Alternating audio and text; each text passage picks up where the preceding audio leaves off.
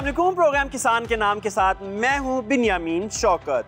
दुनिया भर में हलाल गोश्त और दीगर मसनूआत की मांग में मुसलसल इजाफा हो रहा है। मुख्तलिफ़ रिपोर्ट्स के मुताबिक ये मार्केट अब तीन खरब अमरीकी डॉलर से क्रॉस कर चुकी है। इसका अंदाज़ा आप यहाँ से लगा सकते हैं कि पाकिस्तान के 10 सालाना बजट सिर्फ़ हलाल मार्केट की आमदन से बन सकते हैं। मगर हम अभी तक हलाल एक्सपोर्ट की हाई एंड मार्केट में दाखिल भी नहीं हो सके। गोश्त की पैदावार और एक्सपोर्ट की बात करें तो दीगर इदारों की तरह यहाँ भी हमारी काट कट इंतहाई मायूस कन है। हम सालाना तकरीबन 400 मिलियन अमरीकी डॉलर का गोश्त एक्सपोर्ट कर रहे हैं, जो कुल मार्केट का एक फ़ीसद से भी कम है, जबकि हमारे पास रिसोर्सिस के मुताबिक देखा जाए तो हम 8 से 10 फ़ीसद हिस्सा इंटरनेशनल हलाल मार्केट का ले सकते हैं, मगर बदकिस्मती से ऐसा नहीं हो रहा। कराची शहर से भी छोटा मुल्क नीदरलैंड पूरी दुनिया में हलाल गोश्त और डेयरी प्रोडक्ट्स की एक्सपोर्ट के हवाले से जाना जाता है, मगर पाकिस्तान का किसी जगह नाम तक नहीं लिया जाता।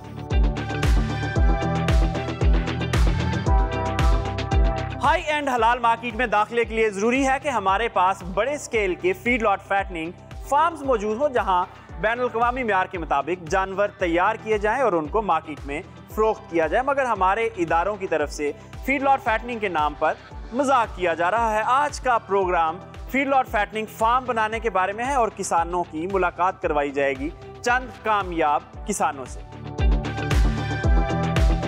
पाकिस्तान में कुल जानवरों की तादाद तकरीबन 17 मिलियन है, जिनमें से 50 फ़ीसद डेयरी जबकि बाकी 50 फ़ीसद गोश्त वाले जानवर हैं। इनमें ज़्यादातर तादाद ऐसे जानवरों की है, जो छोटे किसानों ने घरों में पाल रखे हैं इन फार्म्स पर जानवरों की तादाद भी पाँच से दस है, यानी घरेलू फ़ार्मिंग इन्हें गोश्त वाले जानवर तो कहा जा सकता है, मगर ये जानवर फ़ीड लॉट फैटनिंग स्टैंडर्ड पर पूरा नहीं उतरते। पाकिस्तान में पाले जाने वाले जानवरों की ज़्यादा तादाद ईद उल अजहा पर कुर्बानी के लिए फरोख्त की जाती है। फ़ीड लॉट फैटनिंग यानी जानवरों की एक लॉट को 90 दिन के लिए एक जैसी खुराक पर पालना, ताकि उनका वज़न और कद एक जितना हो। यही गोश्त अब दुनिया भर में पसंद किया जाता है, जो बदकिस्मती से अभी पाकिस्तान के पास बहुत ज़्यादा नहीं है। फ़ीड लॉट फैटनिंग स्टैंडर्ड के तहत पाले गए जानवरों का गोश्त ज़्यादा लजीज और जूसी होता है। इसके अलावा बड़े स्केल के फार्म्स इसलिए भी ज़रूरी होते हैं कि एक कंटेनर में 200 के करीब जानवरों का गोश्त एक्सपोर्ट होता है। और ये जानवर एक नस्ल, एक उम्र और एक जितने वज़न के ही होने चाहिए। ये सब खसूसियात उसी वक्त जानवरों में आती हैं जब फ़ीड लॉट फैटनिंग के स्टैंडर्ड के मुताबिक जानवर पाले गए हों। कमर्शियल स्केल के गोश्त फार्म में जानवरों की तादाद कम से कम एक हज़ार होनी चाहिए। दुनिया में बड़े बड़े फार्म पाए जाते हैं। ऑस्ट्रेलिया में एक फार्म है जहाँ गोश्त वाले जानवरों की तादाद सत्रह हज़ार के करीब है, मगर पाकिस्तान में छोटे स्केल पर फ़ार्मिंग की जाती है, जहाँ जानवर भी 100-200 के करीब होते हैं, जिसका स्केल कमर्शियल नहीं बन पाता।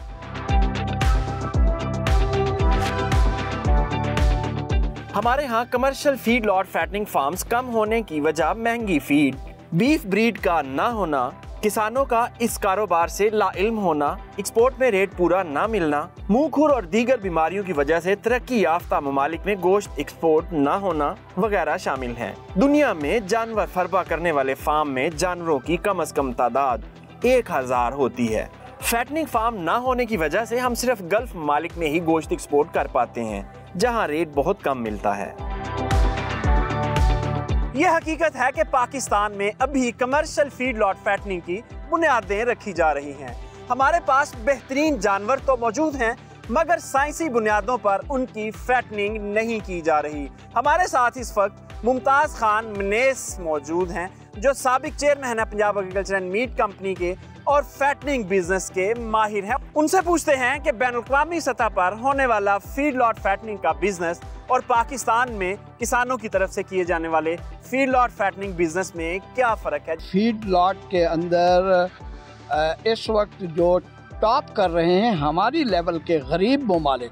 मैं अमेरिका की बात नहीं करता, ऑस्ट्रेलिया की बात नहीं करता। हमारी तरह के गरीब ममालिक पैरागोए यूरोगोए और उनकी बदकिस्मती उन दोनों मुल्कों की ये है कि उनके नज़दीक समुंदर भी नहीं है। वो मिन्नत समाजत पाऊँ पढ़ के समुंदर तक एक्सेस लेते हैं ताकि वो एक्सपोर्ट कर सकें। पैरागोए और यूरोगोए के अंदर बीसियों फॉर्म्स हैं, जिनकी तादाद डेढ़ लाख मवेशी हैं। हमारे मुल्क के अंदर एक भी फ़ीड लॉट फैटनिंग का, एक जानवर का फार्म भी नहीं है और जो हम कुछ कुर्बानी के लिए जानवर पैदा करते हैं। हम ये समझते हैं कि हम इसी जानवर से ही पूरे मुल्क की आबादी को जो है एक क्वालिटी मीट जो है वो मुहैया कर सकेंगे। हम नहीं कर सकेंगे। बरखरदार, जब तक हम स्केल के ऊपर नहीं जाएँगे, हम दुनिया के अंदर पैमानों के ऊपर अपने आप को मुस्तनद न करा सकेंगे। सिर्फ़ एक पैमाना नहीं है जिस, जिससे हम नहीं निकल पा रहे, वो हमने अपने ऊपर लागू किया हुआ है और वो है जाहिलियत का पैमाना। सर ये भी फरमा दें कि हुकूमत की तरफ़ से जो इकदाम किए जा रहे हैं गोश्त फार्म बढ़ाने के लिए क्या आप उनसे मुतमिन हैं और किस तरह उनको बेहतर बनाया जा सकता है? हुकूमत ने क्या करना है? हुकूमत तो कुछ भी नहीं कर रही। हुकूमत ये कहती है कि हम ये सारा कुछ जो है वो लूट मार करके जो है ना हम खुद कर ले। चलो वो खुद करे वो भी तो नहीं करती। जी सर आपके वक्त का बहुत शुक्रिया। हमें अपने स्केल को बड़ा करना पड़ेगा। फैटनिंग बिज़नेस के लिए जब तक आपका स्केल बड़ा नहीं होगा, ये काम प्रॉफिटेबल नहीं हो सकता। ऑस्ट्रेलिया न्यूजीलैंड ब्राज़ील, नेदरलैंड और बहुत से दीगर यूरोपीय ममालिक की इकोनॉमी लाइफ स्टॉक के ऊपर ही खड़ी है। हम भी अगर पाकिस्तान में लाइफ स्टॉक सेक्टर को तरक्की दे दें तो हम बहुत से मुआशी मसाइल हल कर सकते हैं। मुख्तर ब्रेक और ब्रेक के बाद आपको बताएँगे कि पाकिस्तान में कैटल सेक्शन की ग्रोथ के लिए क्या क्या रुकावटें हायल हैं? Stay with us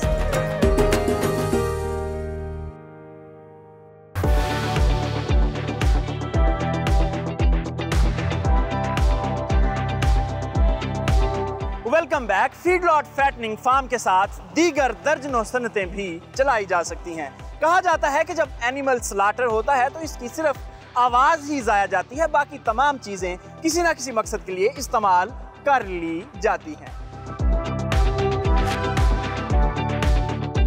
जानवर जिबा करने के बाद गोश्त के अलावा जानवर की खाल से मुख्तलिफ़ इकसाम के लिबास, जूते, पर्स वगैरह बनाए जाते हैं। हड्डियों से जेलेटन बनती है, जो चिंगम और खाने वाली दीगर मसनुआत में काम आती है। जानवर के खून से बेहतरीन किस्म की ऑर्गेनिक खाद बनाई जाती है। चर्बी से दर्जनों पर्सनल केयर की मसनुआत तैयार की जाती हैं।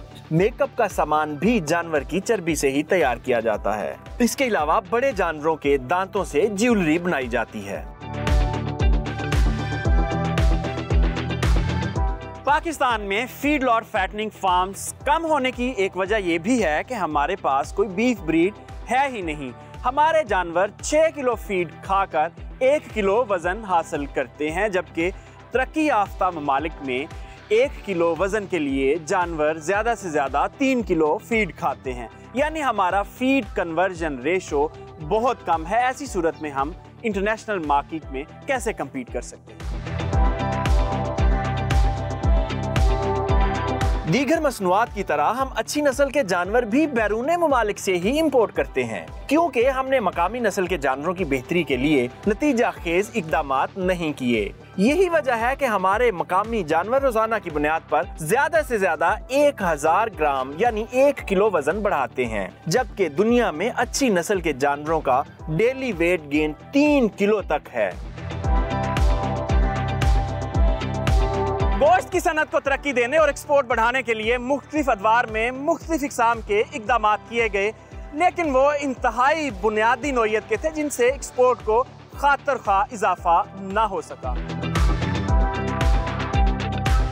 हुकूमत पंजाब की तरफ़ से 2010 में फ़ीड लॉट फैटनिंग के नाम से गोश्त बढ़ाने का मंसूबा शुरू किया गया। मगर उसमें फ़ी किसान जानवरों की तादाद सिर्फ़ 25 रखी गई। इस तादाद से ना तो कमर्शियल स्केल बन सका और ना ही किसान अपने फार्म पर जानवरों की तादाद बढ़ा सके। इस मंसूबे से कम अज कम किसानों को फ़ीड लॉट का नाम ज़रूर समझ में आ गया। बाद में भी इसी तर्ज के मंसूबा जात चलते रहे, मगर आज तक हुकूमत की तरफ़ से कमर्शियल स्केल का कोई भी मंसूबा लॉन्च नहीं किया गया।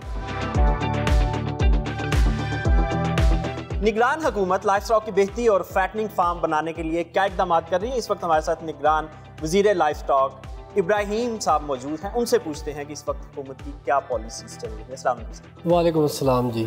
Thank you for having me आपके और मेरे इल्म है कि जो हलाल मीट मार्केट है, ये अब तकरीबन 2000 अरब डॉलर के साइज़ की है। और पाकिस्तान जो है, वो है ही टोटल हलाल। और अगर आप देखें कि हमारे जो बॉर्डर के ऊपर चाइना है सिर्फ़ तीन, साढ़े तीन अरब डॉलर इसकी बीफ की रिक्वायरमेंट है। और हमारे पास अगर पंजाब में देखें कि तकरीबन पचपन मिलियन कैटल है। पचपन मिलियन सॉरी लाइफ स्टॉक है। और इसके अंदर मेजॉरिटी जो है वो आपकी कैटल है। और हमारी जो मेजॉरिटी फार्मर्स हैं, उनका भी इसकी तरफ़ रुझान होता है कि जिस तरह आपके पहले भी गुफ्तु हो रही थी कि ईद के लिए वो जानवरों को प्रिपेयर करते हैं मीट के लिए। और हमारी जो गवर्नमेंट है, इसने अभी कुछ मुख्तसर अरसे में तीन चार बड़ी हाई लेवल वज़ी अला साहब की क़्यादत में मीटिंग्स की हैं और हम ये सोच रहे हैं कि किस तरह ये 2000 अरब डॉलर की जो हलाल मीट की मार्केट है, इसको टैप किया जा सकता है। अब इसमें दो तीन इश्यूज़ हैं। नंबर वन ये है कि जिसमें सप्लाई चेन को हमने इंश्योर करना है कि हमारे पास क्या इनफ एनिमल्स हैं कि फ़र्ज़ करें अगर हम एक्सपोर्ट की तरफ़ जाते हैं तो ऐसा तो नहीं है कि हमारी लोकल मार्केट में शॉर्टेज हो जाए। हमने जो एनालिसिस किया है उसमें हमने देखा है कि हमारी जो पर कैपिटा कंजम्पशन है ऑफ़ मीट ये बाकी ममालिक से कम है। और नंबर टू ये है कि जब आप एक्सपोर्ट की मार्केट को डेवलप करेंगे तो पीछे बैक एंड सप्लाई चेन खुद जो है एक फॉर्म होगी। कुछ अफराद से जो हमने मुलाकात की, उन्होंने हमें बताया कि हम जो है 10-12 मिलियन डॉलर की और कुछ ऐसे भी हैं जो कि तकरीबन 60-70 मिलियन डॉलर की मीट की एक्सपोर्ट कर रहे हैं। जिस वक्त टोटल तकरीबन साढ़े तीन सौ मिलियन डॉलर की एक्सपोर्ट और उनकी और हमारी अब ख्वाहिश है और फोकस ये है कि हम जो बैक एंड पे फार्मर है इसको हम वैक्सीनेशन दें। फिर नंबर टू ये कि जो जानवर है इसकी ट्रेसिबिलिटी ये बहुत इंपॉर्टेंट है कि फ़र्ज़ करें अगर आपका जानवर है आपकी मीट है आप उसकी ट्रेसिबिलिटी नहीं प्रोवाइड करते तो आपको तीन डॉलर उसका रेट मिलता है। लेकिन अगर आप उसकी ट्रेसिबिलिटी प्रोवाइड कर सकते हैं जिसमें आता है कि इसकी पैदाइश कब हुई थी इसकी वैक्सीनेशन कब हुई इसको कोई बीमारी लगी तो कब ठीक हुआ तो वही तीन डॉलर जो है वो नौ डॉलर ले सकते हैं। ट्रेसिबिलिटी के ऊपर अब सारा सिस्टम चल रहा तो है तो अभी जो है हमारी तकरीबन जो एक्सपोर्ट है वो 500 मिलियन डॉलर है। और पाकिस्तान की जो एक्सपोर्ट पोटेंशियल है इस शोबे में वो तकरीबन 15 अरब डॉलर है। तो हम जो है ट्रेसिबिलिटी को देख रहे हैं फिर हम आगे फ़ीड को देख रहे हैं। ट्रेसिबिलिटी की बात की तो ये 2012-13 में भी प्रोजेक्ट शुरू हुआ था लेकिन तसलसल नहीं होता। देखिए इसमें एक तो ये कि जानवर जो है वो हर वक्त पैदा हो रहे हैं और हर वक्त उनकी कलिंग हो रही है ठीक है? और इसमें ये कि एक आपको एक कंटिन्यूस प्रोसेस है ये वन टाइम एफर्ट नहीं है। जो सोल्यूशन है वो ये कि हमने शुरू किया है कि 50 कैटल प्लस जो भी ओनर्स हैं इनको पूरे पंजाब में मैंडेट करें कि आपने लाजमी जो है अपने जानवरों को रजिस्टर कराना है। ये एफ़ का एक प्रोजेक्ट है फॉरन फंडेड उस पर हमने पिछले हफ़्ते पी आई टी वी से ब्रीफिंग ली है और हम चाह ये रहे हैं कि एक ट्रेसिबिलिटी की एमरजेंसी नाफज करें। और जिसमें 50 प्लस जितने फार्म्स हैं, जिनके पास इतने जानवर हैं, वो हमारे साथ रजिस्टर हो। और मुझे खुशी हुई, मैंने पिछले हफ़्ते इसकी रिपोर्ट भी ली कि कुछ लोग रजिस्टर कराना शुरू भी हो गए और हमारे पास लोग खुद आ रहे हैं। Sir nine two double one nine two one one software अपने सिस्टम में। Nine two one one software इसके लिए बना था हुकूमत का वो भी इस वक्त डिफंक पड़ा हुआ है और वो भी मसला यही है कि किसी और हुकूमत ने शुरू किया अगली ने आके उसे बंद किया। वो बड़ा अच्छा सॉफ्टवेयर था उससे आपकी रजिस्ट्रेशन हर चीज़ की डेटा बन रहा था। तो उसके बारे में अब क्या पॉलिसी है आपकी? जी जहाँ तक मैंने रिपोर्ट ली नाइन टू डबल वन जो है वो अभी भी चल रहा है और बड़ी अच्छी तरह चल रहा है। और ख़ास तौर में आपके इल्म है कि जो एआई के प्रोजेक्ट होते हैं आर्टिफिशियल इंसेमिनेशन के वो उसी के डाटा अपग्रेडेशन नहीं हो रही वेबसाइट तो चलती ही रहती है लेकिन बात यह है कि उसमें डेटा अपग्रेडेशन जो है वो एक आपके एक बड़े अच्छे मेहनती सेक्रेटरी थे नसीम सादिक साहब उन्होंने बड़ी एफर्ट्स के साथ वो किया था लेकिन अब उसमें डेटा इनपुट नहीं हो रहा उस तरह चले इसको मैं चेक कराता हूँ रीचेक कराता हूँ कि क्या है क्या नहीं है क्योंकि हमारी तो फोकस है कि हम इसके अंदर एफिशिएंसी लेके आएँ और जो वर्ल्ड क्लास स्टैंडर्ड्स हैं उनको बेंचमार्क करें। जी सर खुशाइन बात है कि काम शुरू हो चुका है और अल्लाह करे ये जारी रहे। ये बताएँ कि तसलसल कैसे आप मेंटेन करेंगे जिसके आने वाली हुकूमत इसको जारी रखे बंद ना करें? ये एक हमारे जो है ना दिस इज़ एन इशू और इसको केटर करना चाहिए। लेकिन हम जो कर रहे हैं, वो ये कि हम एक specific special economic zone establish कर रहे हैं, जो फ़ूड की प्रोसेसिंग के अंदर जो है, पाकिस्तान को हेल्प करेगा। और उसके साथ साथ लार्ज स्केल फार्म्स हैं, जो कि तकरीबन 500 से 5000 एकड़ के होंगे। चोलिस्तान के अंदर हमने एरिया आइडेंटिफाई किया तकरीबन पाँच लाख एकड़ का। और ये ब्रेकिश जोन है और ये मीट के लिए बहुत अच्छा है। तो लाइफ स्टॉक डिपार्टमेंट इसको फैसिलिटेट कर रहा है टेक्निकली फस्टेट कर रहे हैं जो वैक्सीनेशन में उनको हेल्प चाहिए वो है और ब्रीड इम्प्रूवमेंट में तो ताकि डिज़ीज़ फ्री कंपार्टमेंट्स हों। जी इब्राहिम साहब आपके वक्त का बहुत शुक्रिया। जब तक हम लाइफ स्टॉक को प्रॉपर ग्रो नहीं करते फ़ील्ड और फैटनिंग फार्म नहीं बनाते और एक्सपोर्ट के स्टैंडर्ड्स मीट नहीं करते हमारी मीशत नहीं संभल सकती क्योंकि हम लाइफ स्टॉक बेस्ड कंट्री शायद ही कोई ऐसा मुल्क हो जहाँ जानवर जानवरों की खुराक स्लाटरिंग प्रैक्टिसेस और इसके अलावा ट्रांसपोर्टेशन सब सौ फ़ीसद हलाल शरी असूलों के मुताबिक चल रहा हो। लेकिन इसके बावजूद हम बैन अवी हलाल मार्केट में अपना मकाम नहीं बना सके। आइए आपको गुजशत पाँच साल मीट एक्सपोर्ट का रिकॉर्ड दिखाते हैं। 2017 के दौरान पाकिस्तान ने 210 मिलियन अमरीकी डॉलर का गोश्त मुख्तलिफ़ ममालिक में एक्सपोर्ट किया। 2018 में 223 मिलियन अमरीकी डॉलर, जबकि 2019 के दौरान 290 मिलियन 2020 में 315 मिलियन अमरीकी डॉलर 2021 के दौरान पाकिस्तानी एक्सपोर्टर्स ने 340 मिलियन अमरीकी डॉलर का गोश्त एक्सपोर्ट किया। डॉलर रेट का फ़र्क निकाल दें तो हमारी एक्सपोर्ट मुंजमद नज़र आती है। फ़ीड लॉट फैटनिंग एक मुनाफा बख्श कारोबार है। किसान मुख्तर अरसे में, यानी नब्बे दिन में 20 से 30 फ़ीसद मुनाफा कमा सकते हैं और साल में तीन साइकिल निकलें तो ये मुनाफा 60 फ़ीसद तक बन जाता है। हमारे साथ इस वक्त एक फार्मर फैसल सईद साहब मौजूद हैं। उनसे पूछते हैं कि फ़ीड लॉट फैटनिंग फार्मर्स के मसाइल क्या हैं जिनको हल करके इसको मज़ीद बेहतर किया जा सकता जब हम जाते हैं उधर स्लाटरिंग के लिए एक्सपोर्टर के पास, वहाँ हमें रेट ठीक नहीं मिलता। दूसरा वो हमें कहते हैं कि एक ही कैटेगरी के एक पाँच पाँच सौ की लॉट हमें दें। तो हमारा स्केल छोटा है इसलिए फ्रांसिंग का प्रॉब्लम है। तो फाइनेंस बैंक करता नहीं इसको? सर बैंक की जो फाइनेंसिंग है वो बाईस तेईस परसेंट पे है। तो मेरे ख्याल में कोई पाकिस्तान में इस तरह का कारोबार नहीं है जो बाईस तेईस परसेंट मार्कअप पे आप लोन लेके तो आप उसको प्रॉफिट में लेके जा सकें। आपको क्या लगता है गवर्नमेंट को सब्सिडी देनी चाहिए इसकी? इसमें तो गवर्नमेंट की तरफ़ से तो कोई भी सहूलत नहीं है। फैसल सही साहब ये बताएँ कि अगर गवर्नमेंट आपको लो मार्कअप पे कर्जे दे टैक्सेस छोड़ दे तो ये बिज़नेस कितना प्रमोट हो सकता है? सर ये अगर हम को साल में 500 जानवर एक माह में अगर देते हैं स्लॉटरिंग के लिए तो हम इसको पाँच हज़ार रुपये ले जा लेके जा सकते हैं। जी फैसल साहब आपके वक्त का बहुत शुक्रिया। किसान भाई ये बुनियादी मिसाइल थे जो फ़ीड लॉट फैटनिंग वाले फार्मर्स फेस कर रहे हैं। आइए आपको पाकिस्तान भर के फ़ीड लॉट फार्मर्स के मसाइल से आगाह करते हैं। पिछले पाँच छः माह से जो है वो गोश्त की फ़रोख्त बिल्कुल ना होने के बराबर हो गई है कि सबसे बड़ी वजह जो है वो महँगाई है। हमें हुकूमत की तरफ़ से कोई रेलफ नहीं है ये हम अपनी मदद आपके तहत ही ये अपना काम चला रहे हैं। अगर हम वंडा यूज़ ना करें तो ना गोश्त वाले जानवर और ना दूध वाले जानवर ये हमें बिल्कुल मुनाफा नहीं दे रहे और वंडा इस वजह से महँगे है कि डॉलर जो है उसके रेट बहुत आगे गए हुए हैं। हुकूमत को चाहिए कि वो इन लोगों के साथ कुछ तावन करे। सबसे यहाँ हमें जो इस फ़ार्मिंग के अंदर जो मसले मसाइल पेश हैं वो सबसे ज़्यादा तो एक वैक्सीनेशन के हैं क्योंकि वैक्सीनेशन जो है वो दिन ब दिन महँगी होती जा रही है। और हमारी हुकूमत पाकिस्तान से सिर्फ़ एक ही रिक्वेस्ट है कि ये काम बहुत मुनाफा बख्श है। सिर्फ़ इसमें जो है वो लाइव स्टॉक डिपार्टमेंट अगर एक्टिव हो और एक प्रॉपर हर फार्म पे जाके विज़िट करे और हुकूमत की तरफ़ से जो वैक्सीनेशन दी जाती हैं, वो हमें आके दे या ख़ुद आके टाइम टू टाइम लगाए। जैसे कि ये मंडी का ठेकेदार जो भी कोई भी है, ना पानी का मसला इधर हाल होता है, ना जानवरों को रखने का, सिर्फ़ छोटा ज़मीन का हमें दिया हुआ है, इस पर हम लोग कारोबार कर रहे हैं, बस। इसमें मसाइल ये दरपेश है, जो गवर्नमेंट की तरफ़ से कोई रिलीफ नहीं है। ना पानी का रिलीफ है, ना साय का रिलीफ है, और ना वो जो वैक्सीन लगाते हैं, ना उसका रिलीफ है। सिर्फ़ बड़ी ईद से एक दस दिन पहले आके वो लोग स्प्रे करते हैं। फैटनिंग फार्म पर 70 फ़ीसद से जायद अखराज सिर्फ़ फ़ीड पर आते हैं। जी हाँ जानवरों की खुराक पर। अगर किसान इसे मैनेज कर लें तो यकीनन फार्म मुनाफे में जा सकता है। हमारे अक्सर किसान सब्ज चारा फार्म पर खिलाते हैं, जिससे फार्म मुनाफा बख्श नहीं हो सकता। हमारे साथ इस वक्त खुराक के माहिर डॉक्टर अब्दुल्ला मौजूद हैं। उनसे पूछते हैं कि किसान कहाँ कहाँ गलती करते हैं। लाइफ स्टॉक फार्म में। जी डॉक्टर साहब। फैटिंग कारोबार में जो सबसे बड़ा जो एक्सपेंस है या अखराज है, वो फ़ीड का है, जिसको आपको मैनेज करना पड़ता है। इसी से आप प्रोजेक्ट में जानवरों का वज़न लेते हैं और उसी से आप प्रॉफिट लेते हैं। तो इसमें अक्सर हमारे फार्मर्स को देखा गया है कि वो सिर्फ़ चारे से फैटिंग करते हैं। ये तरीक़ेकार थोड़ा सा गैर मुनासिब है।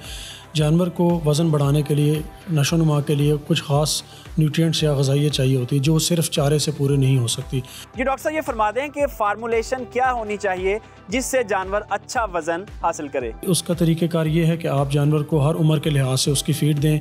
तीन से छः महीने में आप उनको स्टार्टर वनडे का इस्तेमाल करें जिसमें आमतौर पर गजाइत ज़्यादा रखी जाती है जो कि उसकी ग्रोथ को पूरा कर सके।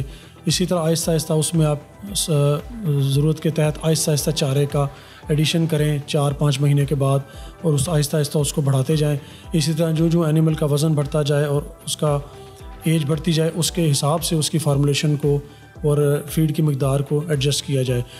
जी, डॉक्टर साहब, आपके वक्त का बहुत शुक्रिया। कमर्शियल स्केल का फ़ीड लॉट फैटनिंग फार्म सबज चारे पर ना तो मैनेज हो सकता है और ना ही मुनाफा बख्श हो सकता है। टीएमआर दुनिया भर में सबज चारे की रिप्लेसमेंट के तौर पर इस्तेमाल किया जाता है। यानी टोटल मिक्स राशन, जिसमें मुख्तलिफ़ अशिया मिक्स करके जानवरों को ज़रूरत के मुताबिक डाली जाती हैं। मगर पाकिस्तान में टीएमआर मशीन महँगी होने की वजह से इसको इस्तेमाल नहीं किया जा रहा। आज हम आपको दिखाते हैं कि 50 लाख वाली मशीन तीन लाख रुपए में कैसे बनाई जा सकती है और बिल्कुल उसी तरह ही राशन को मिक्स करती है जैसे 50 लाख वाली टीएमआर मशीन। इस टीएमआर मशीन के बारे में मजीद जानने के लिए इस वक्त हमारे साथ मोहम्मद उमैर साहब मौजूद हैं जो इसका इस्तेमाल करवाते हैं जिन्होंने इसकी इंजीनियरिंग कराई उनसे पूछते हैं कि इससे क्या फ़ायदा हासिल होता है। असल सबसे पहले बताएँ कि इसकी ज़रूरत क्यों पेश आई? आ, हमने असल में प्लान आउट किया था कि हम फैटनिंग का फार्म स्टार्ट करें। तो जब फैटनिंग के ऊपर रिसर्च की तो उसके बाद उसके फॉर्डर पे रिसर्च की तो हम इवेंचुअली इस, इस नतीजे पे पहुँचे कि हमें टीएमआर टोटल मिक्स राशन तो वो ही देना चाहिए। वो सब चारे में क्या मसला है उसको क्यों नहीं दे सकते? वो फीजेबल नहीं है इकोनॉमिकल नहीं है। अगर हमने कमर्शियल स्केल पे काम करना है और कमर्शली करना है तो वो फीजेबल नहीं है। हम्म, ठीक है। तो फिर इस मशीन का ख्याल कैसे आया? इस मशीन का ख्याल ऐसे आया कि हमने जब इस पर रिसर्च स्टार्ट की तो हमें तब पता चला कि ये पैंतीस चालीस लाख से स्टार्ट होती है जो लोकल मैनुफैक्चर्ड है इंपोर्ट होती है और वो सब पैंतालीस पचास साठ लाख तक जाती है। हम्म। तो वो कॉस्ट की वजह से जो है हमने फिर फर्दर रिसर्च की कि उसको ये करता क्या है टी किस तरीके से मिक्सिंग करता है। उसके बाद फिर हमने कुछ लोगों से कंसल्ट किया और इस नतीजे पर पहुँचे कि ये काम जो है वो ये कॉन्क्रीट मिक्सर भी कर सकता है। अब ये एक्चुअली आपके पीछे जो देख रहे हैं ये कंक्रीट मिक्सर है। अब इसके अंदर से हमने जो कंक्रीट मिक्सर के जो ब्लेड्स और वो सारी चीज़ें उतार के इसको टीएमआर के हिसाब से अंदर अंदर से इसकी फिटिंग करवाई है। तो अब ये तकरीबन समझे कोई तीन लाख रुपये में हमें ये मशीन पड़ी है। और ये वही काम कर रही है जो साठ लाख की मशीन करती है। यानी साठ लाख वाली मशीन तीन लाख में बन गई। जी ऐसे जी उमैर साहब, आपके वक्त का बहुत शुक्रिया। आपने किसानों की बहुत रहनमाई की और 50 लाख वाली मशीन तीन लाख में बना के किसानों को दे दी। किसान भाई आइए आपको दिखाते हैं कि ये मशीन चलती कैसे है, वर्क कैसे करती है।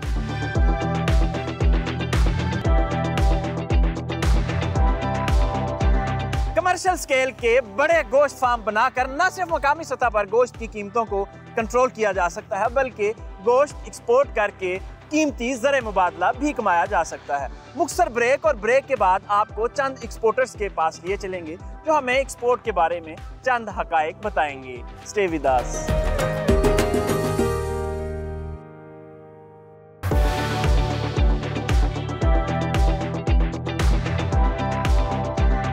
वेलकम बैक वतन अज़ीज़ आबादी के लिहाज से दुनिया का पांचवा बड़ा मुल्क। जानवरों की तादाद के लिहाज से दुनिया के दस बड़े ममालिक में शामिल। सौ फ़ीसद हलाल वैल्यू चेन। पाकिस्तान भर में फैला हुआ सरकारी इंफ्रास्ट्रक्चर और मेहनती किसान। इसके बावजूद हलाल गोश्त की हाई एंड मार्केट में पाकिस्तान का कहीं नाम नज़र नहीं आता। दुनिया का सबसे बड़ा गोश्त एक्सपोर्टर अमेरिका है, जो चार लाख टन से जायद सालाना गोश्त एक्सपोर्ट करता है, जिसकी मालियत नौ अशारिया तीन बिलियन डॉलर से जायद बनती है। जर्मनी सालाना आठ बिलियन डॉलर का गोश्त एक्सपोर्ट करता है। मैक्सिको सात अशारिया दो बिलियन डॉलर ब्राज़ील तीन अशारिया दो बिलियन डॉलर अर्जेंटीना तीन अशारिया एक बिलियन डॉलर का सालाना गोश्त एक्सपोर्ट करता है। पाकिस्तान से गोश्त की एक्सपोर्ट को कैसे बढ़ाया जा सकता है और हाई एंड मार्केट में कंज्यूमर किस तरह का गोश्त पसंद करता है ये जानने के लिए हम पाकिस्तान के बड़े मीट एक्सपोर्टर नवाज़ डोगर साहब के साथ मौजूद हैं। उनसे मजीद हकायक जानते हैं। असलम सर बताइएगा इंटरनेशनल मार्केट में जो कंज्यूमर है वो किस तरह का गोश्त पसंद करता है? ये पूरी मिडल ईस्ट में जो है ना हर मुल्क का अलग अलग डिमांड होती है। जो बहरीन है वो 120 से लेकर 160 किलो कारकस वेट हो तो उसको लाइक करता है। सही। अच्छा ये बताएँ कि हमारे मुल्क में जितनी पोटेंशियल है क्या हम उसको उतना एक्सपोर्ट कर रहे हैं या अभी कहीं कमियाँ कोताहियाँ हैं? नहीं अभी हमारे पास और है गुंजाइश है कि हम इससे भी एक्सपोर्ट ज़्यादा कर सकते हैं। जैसे अभी हमारा खुल रहा है मलेशिया जो है ना वो खुल रहा है। मलेशिया में जब हम हमारा जाना शुरू हो जाएगा फिर मिस्र है मिस्र में अजप्ट वाले भी हमसे मांगते हैं, हमारे पास उनकी अप्रूवल भी आ गई है। मैं ये ज़रूर सजेस्ट करूँगा कि गवर्नमेंट को चाहिए कि हमारे जो फार्मर हैं, उनको फैसिलिटाइज करना चाहिए। जी, नवाज़ रोगर साहब, आपके वक्त का बहुत शुक्रिया। जब तक हम लार्ज स्केल के फैटनिंग फार्म नहीं बनाएँगे, पाकिस्तान को एफएमडी फ्री नहीं करेंगे या कम अज़ कम डिज़ीज़ फ्री जोन डिक्लेयर नहीं करेंगे, तब तक हमारी एक्सपोर्ट हाई एंड मार्केट में नहीं हो सकती। अगर हुकूमत की तरफ़ से मीट एक्सपोर्टर्स के मसाइल हल किए जाए और उनको सहूलियात दी जाए तो यकीन मीट एक्सपोर्टर्स बहुत मुख्तर अरसे में पाकिस्तान का इंटरनेशनल हलाल मार्केट में नाम रोशन कर सकते हैं। आइए चंद मीट एक्सपोर्टर्स के पास चलते हैं, उनसे पूछते हैं कि आखिर उनके मसाइल हैं क्या? मैं हुकूमत वक्त से केयर टेकर भी जो गवर्नमेंट आ रही है और जो पिछली गई हैं या जो भी आने वाली है, उनसे मैं अपील करूँगा कि पाकिस्तान के लाइव स्टॉक सेक्टर को तरक्की देने के लिए जैसे कि ये बीफ की आ, मीट की एक्सपोर्ट्स की बात हो रही है तो उसके लिए सबसे ज़्यादा ज़रूरी ये है कि हम फुट एंड माउथ जो कि हमारी एक्सपोर्ट की राह में रुकावट है हम उसे ख़त्म करने की कोशिश करें। इस वक्त तो गवर्नमेंट की तरफ़ से कोई सपोर्ट नहीं है। कुछ एक दो परसेंट लोग अपनी मदद जो है एक्सपोर्ट कर रहे हैं जैसे दुबई जा रहा है ईरान जा रहा है। गवर्नमेंट को इस पर काम करना होगा। Doctor Mohammad Iqbal Shahid director general livestock extension Punjab. हमारे साथ मौजूद उनसे पूछते हैं कि हुकूमत की इस वक्त क्या पॉलिसी है किस तरह किसानों को ट्रेन किया जा रहा है लाइफ स्टॉक फैटनिंग फार्म के हवाले से। इस्लाम जी वासलाम जी। जी सर फरमाइएगा। जी इस बारे में बड़ा हुकूमत पाकिस्तान और हुकूमत पंजाब ने दो हज़ार उन्नीस बीस से लेकर दो हज़ार बाईस तेईस में एक मनसूबा शुरू किया था पूरे पाकिस्तान में। जिसका बुनियादी मकसद था कि जो कट्टे फरबा करना और कट्टा बचाओ स्कीम शुरू की थी। जिससे ताकि लोग कट्टे पालें और उससे गोश्त की पैदावार में इजाफा अच्छा सर, कट्टे से कमर्शियल फ़ार्मिंग होती नहीं है। अगर हम कमर्शियल फ़ार्मिंग की बात करें और मीट एक्सपोर्ट की बात करें तो उसमें जो कौ है, वो मेन रोल प्ले करता है। तो उस हवाले से हमारी मैं इसमें आपको बड़ा कलीली टेक्निकली बताना चाहता हूँ कि जो कट्टे का गोश्त है ना वो न्यूट्रेटिव वैल्यू उसकी बहुत अच्छी है कोलेस्ट्रॉल वगैरह बहुत कम होता है जो इंसानी सेहत के लिए ज़्यादा मुफीद है। पंजाब में बात करें तो कितने फार्म हैं कट्टों की फैटनिंग तो तकरीबन कोई 700 के करीब करीब जो है ना क्या उसके सबसे बड़ा फार्म कितने जानवरों का? सबसे बड़ा फार्म जो है ना वो है 50 प्लस में है। 50 या 100 में देखिए 50 का जो स्केल है ये किसी इंटरनेशनल स्टैंडर्ड में नहीं आता। 50 का एक जो कंटेनर नहीं बनता 50 जानवरों का वो हम फैटनिंग की जब बात करते हैं तो पाँच सौ हज़ार दस हज़ार जानवर हम इस स्केल के ये एक ये एक छोटा मॉडल शुरू हुआ है ये मॉडल अब बढ़ रहा है। अब लोग इसमें आ रहे हैं। अगले साल में हम कितने बड़े कमर्शियल फार्म्स बना रहे लेकिन कम अज कम अगर बड़े हम कम से कम भी अगर हम सौ फार्म बना लें बड़े तो ये बहुत ये गवर्नमेंट का प्लान है या हमारी विश लिस्ट है क्या सौ फार्म बनाना? प्लान में भी शामिल है और विश दोनों शामिल है। जी, डॉक्टर साहब, बहुत शुक्रिया। खुश आइंद बात है कि हमने अभी से ही इसकी बुनियादें रखना शुरू कर दी हैं कि हम फ्री लॉट फार्म बनाएँ और गोश्त एक्सपोर्ट करें। हम एक ज़रूरी मुल्क है और ज़रात को तरक्की देकर ही हम पाकिस्तानी अवाम को खुशहाल बना सकते हैं। ज़रात को तरक्की देने का सबसे आसान तरीका लाइव स्टॉक फ़ार्मिंग है। लाइव स्टॉक फ़ार्मिंग में कैटल फार्म बनाकर गोश्त एक्सपोर्ट करके हम किसानों को मुआशी खुशहाली दे सकते हैं। मुख्तर ब्रेक और ब्रेक के बाद ज़रिए हालात हाजरा और मौसम की सूरत हाल stay with us welcome back program के आखिरी हिस्से में ज़रिए हालात हाजरा पर बात करने के लिए साइम रशीद साहब हमारे साथ मौजूद हैं। साइम साहब, फरमाइएगा, खादों की कीमतें इस वक्त कंट्रोल से बाहर हो चुकी हैं इकतीस सौ पचास वाली खाद चार हज़ार से भी ऊपर चली गई, क्या वजह है? बिनियामी साहब ये वही सूरत हाल है जिसको हम पहले देखते आए थे। देखें, यूरिया खाद की कीमत में गुजशत डेढ़ साल में आपकी जो थी 1800 से बाईस सौ बाईस सौ से 2600 2600 से इकतीस सौ पचास हुई। और अब ये हालात है, पिछले दस दिन में यूरिया जो सी है वो अठतीस सौ चार हज़ार रुपये दस्तियाब नहीं है। इतनी ब्लैक मार्केटिंग है, इतनी ज़्यादा ज़्यादा हो रही है फार्मर के साथ और हुकूमत की नज़र ही नहीं आ रही।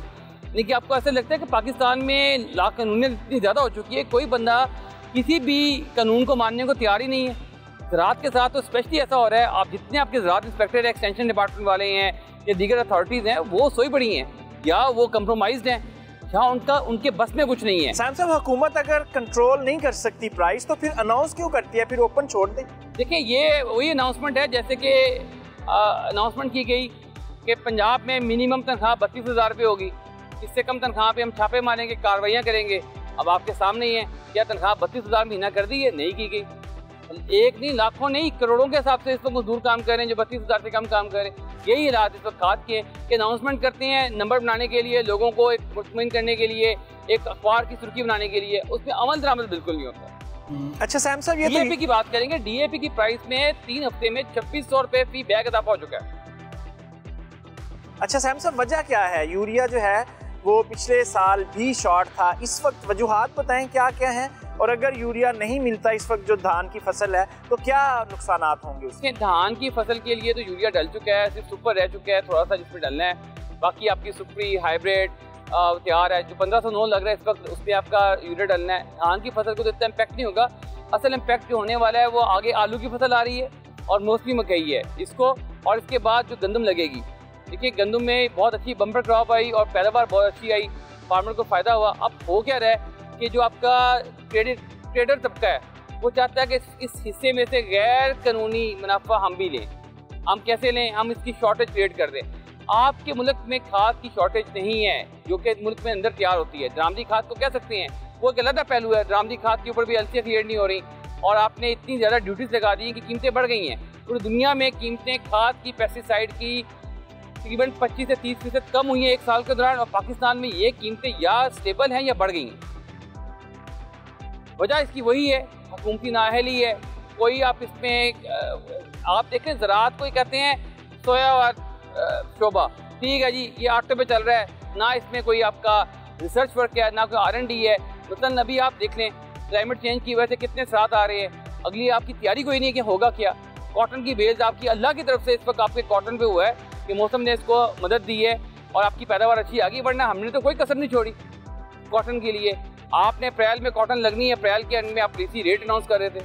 यही सब कुछ बाकी क्रॉप में हो रहा है बाकी फ़सलों में हो रहा है। साइम साहब किसान तो इस वक्त हर तरफ़ से पिसा जा रहा है और महँगाई लगता है सबसे ज़्यादा किसान के ऊपर आई है। बिजली के बिलों ने किसान को रुला के रख दिया और मैंने लिटरली देखा है कुछ किसानों को रोते हुए कि ये इतना बिल हम कहाँ से अदा करें। तो क्या माजरा देखिए बिजली के बिलों में आप मैं इसमें ना बहुत पहले भी कह चुका हूँ कि आप ना इसमें बहुत बड़ी ज़्यादा कर रही गवर्नमेंट। मतलब डेढ़ डेढ़ लाख, दो दो लाख रुपया एक छोटे फार्मर का बिल आ रहा है, वो कहाँ से पे करेगा?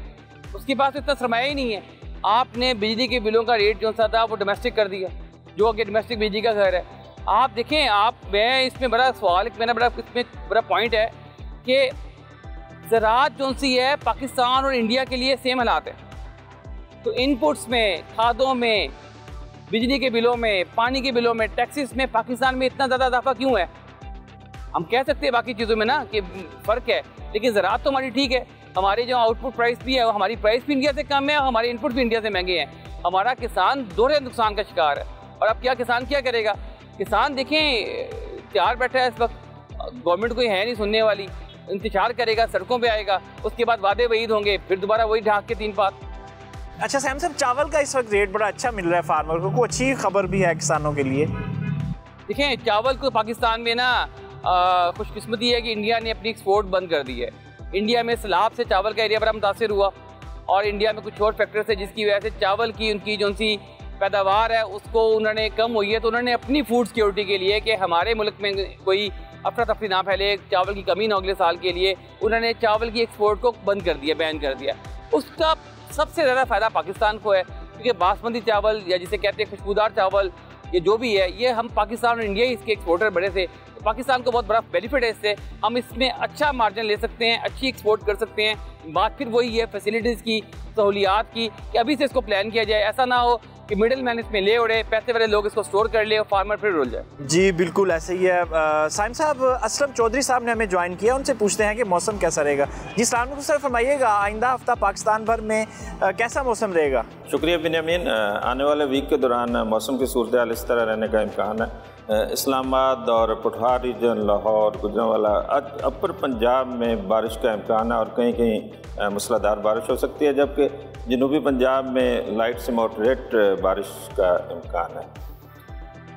सिंध में बेशतर इलाकों में मौसम खुश रहेगा, लेकिन अपर सिंध, जिसमें घोट की सखर नवाब शाह शामिल हैं, इसमें मॉडरेट बारिश हो सकती है। कराची में इस वीक के दौरान कोई हल्की बारिश का भी इम्कान है। बलूचिस्तान में बेशतर इलाकों में मौसम खुश्क रहेगा, जबकि जो मकरान कोस्ट है, उसमें हल्की बारिश हो सकती है। इस तरह जोब, कोयटा इनमें भी मॉडरेट बारिश हो सकती है।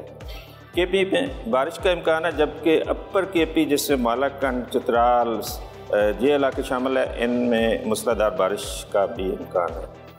नार्दन एरियाज़ और कश्मीर में बारिश और कहीं कहीं मूसलाधार बारिश हो सकती है। जी ठीक, सर, ये बता दें कि पाकिस्तान भर में दर्जा हरारत क्या रहने के इम्कान हैं?